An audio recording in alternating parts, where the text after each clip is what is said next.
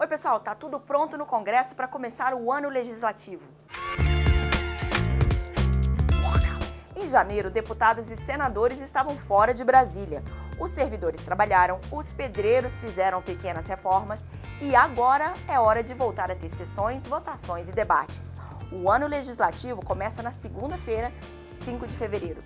Dessa vez não tem eleição da mesa, já que é o segundo ano do mandato do senador Eunício Oliveira na presidência do Senado e do Congresso. Apesar de ser a mesma gestão e as comissões não mudarem, esse vai ser um ano diferente. Nas eleições de outubro, dois terços das cadeiras do Senado vão a voto, porque dois dos três senadores de cada estado terminam o mandato em fevereiro do ano que vem. Cabe a você escolher quem vai fazer leis que definem o seu futuro. Pela TV Senado você pode avaliar o mandato e a atuação de cada senador.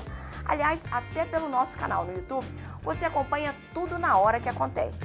Faça sua inscrição e fique com a gente.